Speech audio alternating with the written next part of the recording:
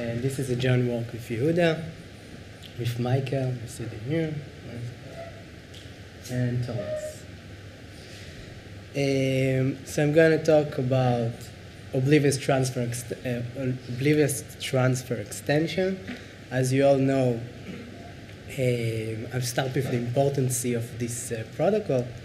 So you heard already about it in Benny's talk at Sunday, in talk at Monday, in Claudia's talk at Tuesday, and you're going to, to hear about it again today. So this, uh, you, this is important. Um, so in this talk, what we're going to talk about is concrete efficiency in the malicious model. Um, and I'm going to present the most efficient OT extension protocol in the malicious model yet. It's an optimized protocol. I'm going to show some proofs, and we have also implementations.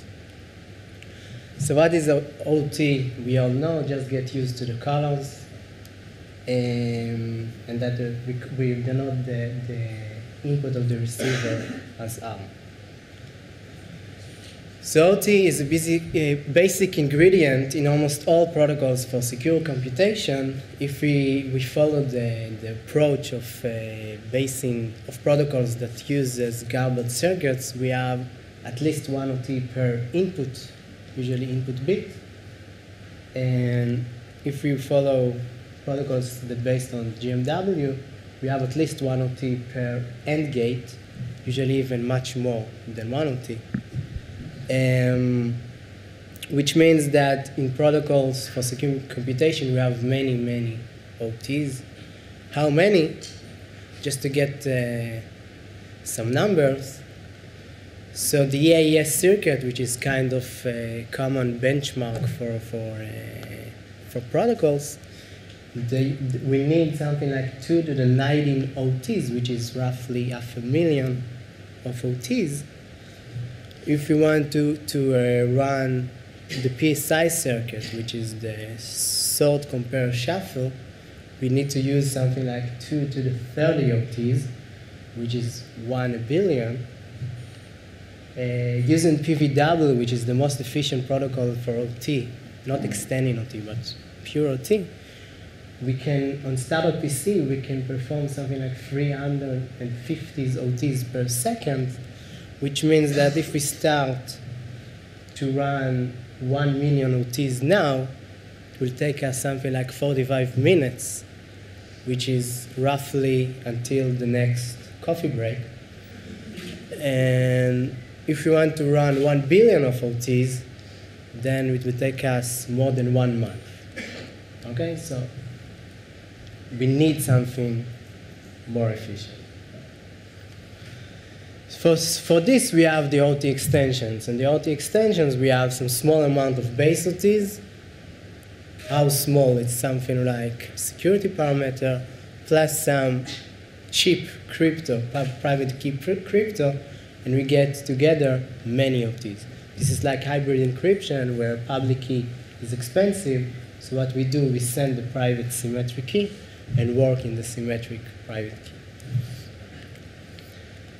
So OT extension was uh, introduced in Beaver 96, and uh, Ishai, Kilian, Nissim, and Petrank showed a very efficient protocol, both in the semi-honest and in the malicious, for oblivious transfer, and you saw this protocol three times this week. Um, we have some optimizations in the semi-honest model and optimizations in malicious. There are some more that optimizing this protocol. So what I'm going to do next, I'm going to talk a little bit about the IKNP protocol. I'm not getting much into details since you all saw, saw this three times this week. Uh, I'm going to talk about our protocol and performance of our protocol. So I'm starting with extending OT efficiently. Focus for now on the semi-honest still. So the idea of IKNP protocol is as following. Doing many OTs is expensive. Even for short messages, even for one bit, it's expensive. But on the other way, other end, if we do few, few OTs of long messages, this is cheap. So this is expensive, this is cheap. So the idea of IKNP is that instead of doing many OTs, we can do some few OTs, but we're going to do it very, very in a clever way that will enable us to have some coordination, some correlation of keys, and we're going to take the, the columns of these few OTs together and perform many, many OTs using private key. Going to do it in a clever, if once we do it in a clever way, we can, we can make many OTs. Um, and essentially, this is, this is the protocol. I mean, you can see it like two, as two round protocol when we have the first one is OT, is an is invocation of an OT oracle. And in the other one, in the other one, the second round, we have the transfer of the OTs. So it's that's it, that's the protocol. OT and then transfer. In practice, what we do, instead of doing OTs for long messages, we break that and we do some OT for completely random messages. Then we kind of correct this OT using some as, as a uh, transmission of long messages. And this together we get many OTs. When it comes to practice, we even do not, um, we break these long messages and send only few, this is because when we come to turn our head, we don't want to get a naked. Okay? So we do it slowly. And we can do it in parallel and stuff like that. We have an optimizations of this protocol in, uh, in a paper two years ago, and you can download and run it in, in SCAPI, which Yehuda is going to talk about later today. Okay, so the IKNP protocol, at least the, the messages or the rounds that we have, so we have three rounds. The first is base OTs, where we do flip between, change the roles between the sender and the receiver. And here the sender is now the receiver in the overall protocol. It chooses pairs of keys. and the, the Alice chooses a secret S. After the base OTs, she gets the responding keys, corresponding keys. The next step, we send those long messages. We, we, we get those two matrices T and Q, while, and then at the last round, we have the transmission, the transfer itself. Okay, so I put the two stars here the first one I want to, to address that here we have a use of the receiver inputs. Okay, this is, I mean, in this, in this base OTs, everything is random, it's independent of the actual inputs. Here we do use the, the, the input of the receiver, and here the sender uses its input. So now we want to use this protocol. I didn't get into the details how T and Q are defined, but you saw it already. When we come to, we move to the malicious, we, first figure out that the protocol is already secure with respect to malicious adversary. And why is that? Well, this is because um, when the sender sends, his uh, messages, the, the hashes are well formed, and therefore on every input is used only once. And it's like we have, um, whenever you change this message, message is like input substitution, which is allowed by the malicious, malicious adversary. On the other end, a malicious server may send inconsistent R with each UI message. I mean, here, it uses its input again and again with each message. We have many, many messages when it uses the same input. Now we need to check that you always send the same R. In general, by sending inconsistent R, it may learn some bits of the secret S.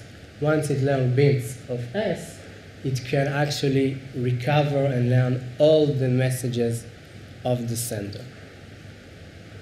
So we need to add some consistency check of R, and we need to check that each UI um, each UI uh, defines the same R. So if we add the protocol, all we add to the semi-honest protocol is one round of consistency check of the message R. So now I'm going to the actual details how we perform these consistency, consistency checks. So if we look at the messages that the receiver needs to send, these are UI which are the source of the strengthening, the stretching of, of the keys that he used to the oblivious transfer to the basal keys, XOR by R, now for the representation, I'm going to change. And to the representation, I'm going to change, instead of writing gk of i, I will write ti0 and tj0 and ti1, tj0 and tj1. Now, we want to check that the r is the same. And what we need to, what we, what we see is once we just take two messages that do have the same R and XOR them together, the R disappears, and what we get is the UI XOR use J is just the XOR of all the keys that were inputs to the base OTs. This means, now recall that the sender has only one key, one blue and one, one red, so it means that if it XORs all the information that he has, he gets the XOR of the remaining keys. However, it doesn't have these values. These values were inputs to the base OTs, but he didn't receive them. In addition, in addition, we cannot send him these values, because once we send him these values, he learns everything about S. He learns everything about R. So what we do, we cannot send him these values, but we can send him a hash function of these values or one-way function on these values. Okay? So this is the idea of, of the consistency checks. We just, the, the, the receiver sends for each pair all the ashes, all is for, for every pair of uh, i and j. He sends ashes of all the pairs of keys.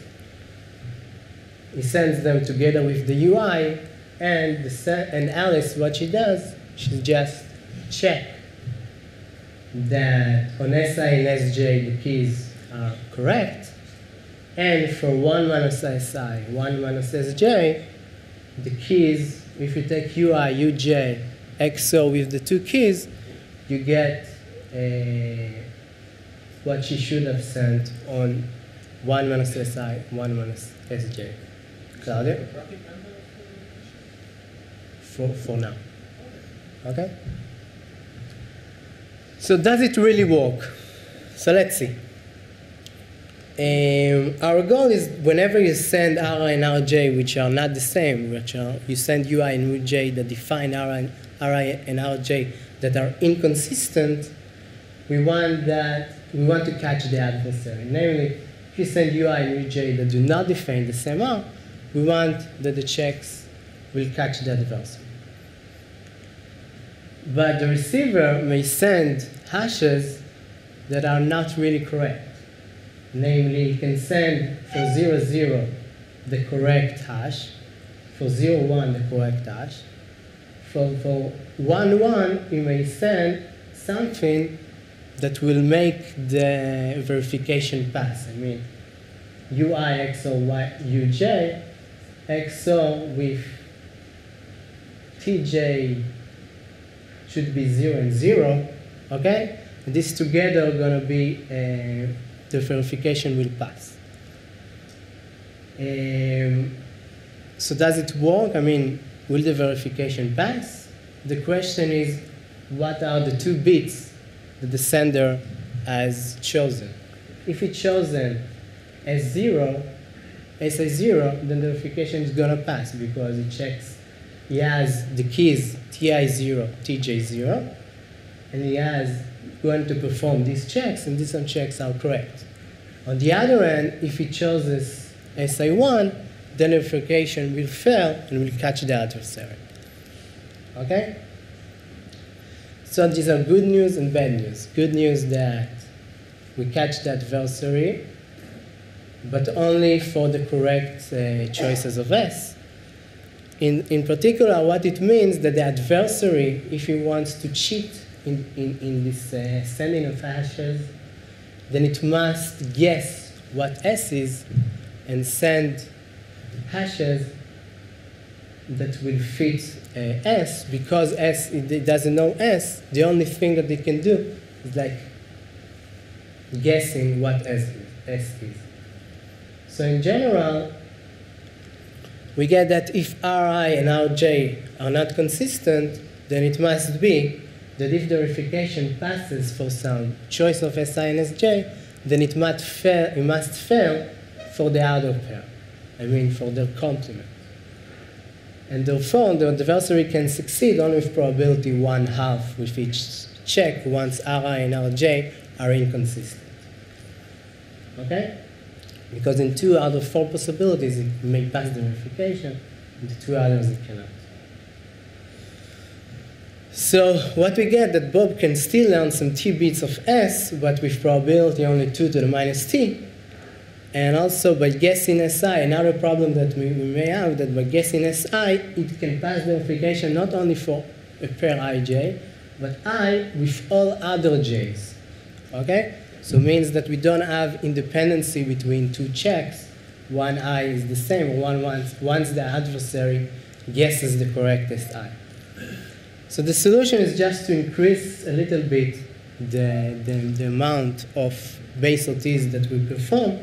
Instead of have, of have K, or K, which is a security parameter, OTs, we're going to have K plus the statistical security parameter, which means that in, in, in general, with probability 1 minus 2 to the minus statistical security parameter, which is something like 40, the adversary, still k bits of s are completely hidden, and the adversary has no information about them.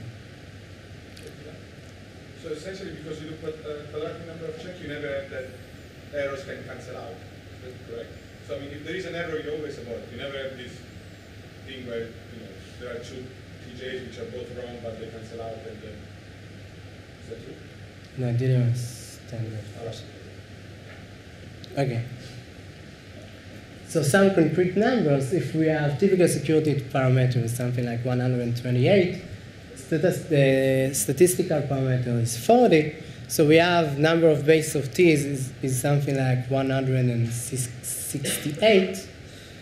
Uh, in NNOB, we had 8 over 3.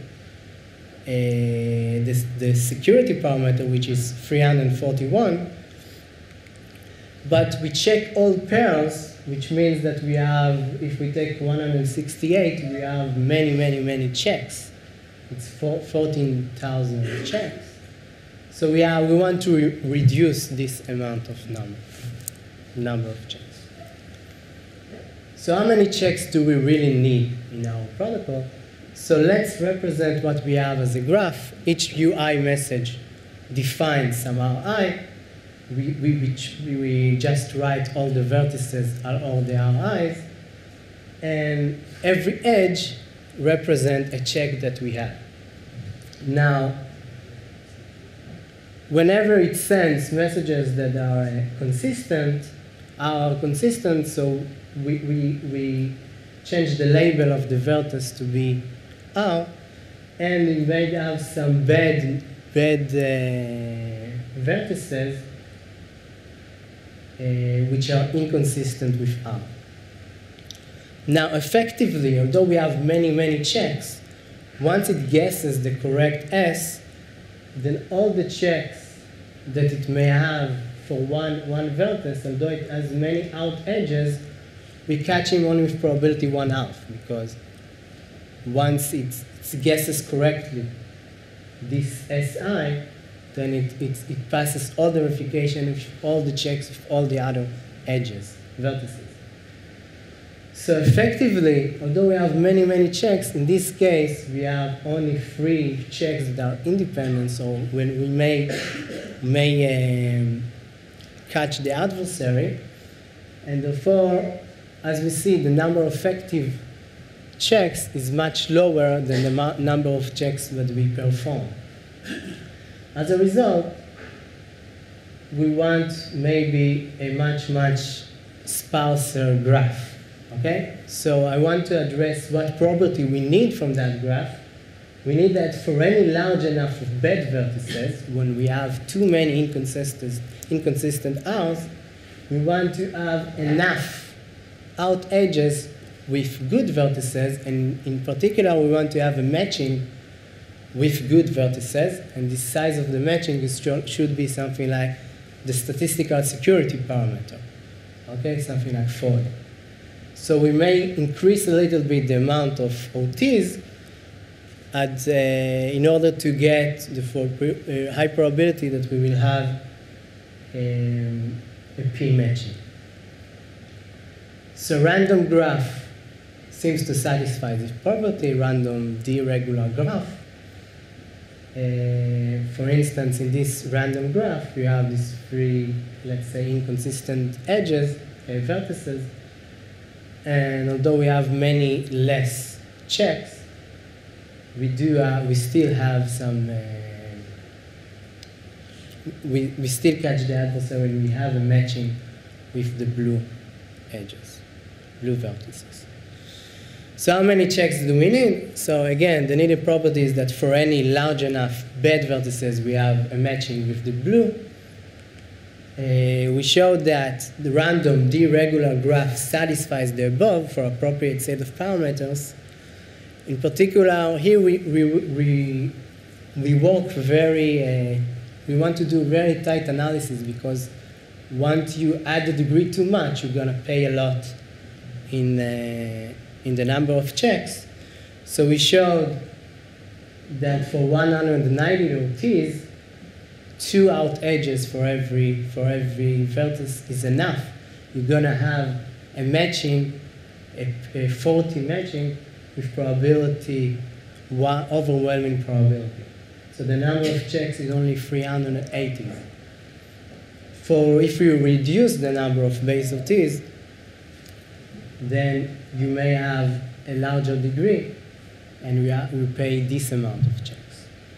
Okay, so we showed that um, we don't have to perform many, many checks.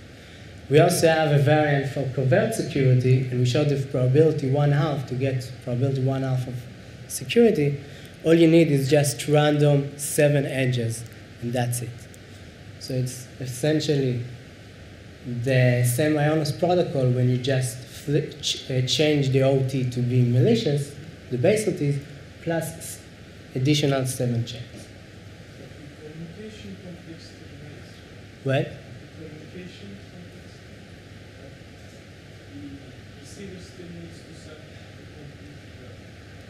No, it sends what it's like sending what in once, what uh, the graph that it wants to uh, to uh, queries, you know, challenges, give me these edges and res get response. So the, the graph has to be sent after the receiver sends, right? I mean, it's not like it's fixed ahead of time. This. Uh, yeah, it's it's like a challenging. Uh, because obviously, otherwise you can. Yeah. And you know, this is an efficiency talk, but just out of curiosity, what's the asymptotic of D? So I think it's not not much more than uh, k plus something, some parameter of the security statistical security parameter. K plus something multiply with the statistical. So about the hash functions, we showed that if uh, we need slight stronger assumption, but it seems like the same. We have in, in the IKNP protocol, we need correlation robustness, where we have many, um, we, we use the same secret to uh, in the hashes. Now what we need is a k-min entropy correlation robustness, where instead of S getting uniform as in correlation robustness, is when here S is taken from a source which has high enough entropy, it has minimum, minimum entropy of K. In particular, a random uniform distribution over K is a K min entropy. source. Okay, I'm going to talk about the performance. So we did an empirical evaluation of this protocol, and our benchmark for now for the following is 8 million of OTs. So we check also a LAN local scenario when the two servers say, sit in the same room, and one other which is a cloud scenario where the two servers sit in different and very, very far away. And it turns out that we need different parameters. Sometimes the base OTs um, cost more than the, than the checks, and sometimes in some scenarios it's different. So in order to evaluate 8 million of OTs, in LAN scenario we need something like 12 seconds, that's it. And in the WAN scenario we have six, uh, um, about a minute. Okay? So uh, comparison in the LAN setting, these values here is 2 to the 26 OTs. This graph is, um, shows that the passive security we get something like 72 seconds. Our work for the covert is 80 seconds. Going to active, you add 7 more seconds. NNOB is 123. This is in the last setting. When we got to the WAN setting, wide area networks, again to the 26. The passive security, our wall is somewhere here, NNOB is here. Now this graph is logarithmic scale, okay, so although the differences seems like they are not so different, it gets bigger and bigger. It's 1, 10, 100. So conclusions, we know that more efficient OT extension, you get more efficient protocols, so it's really very important primitive. And this is really nice combination of theory and practice. Thank you.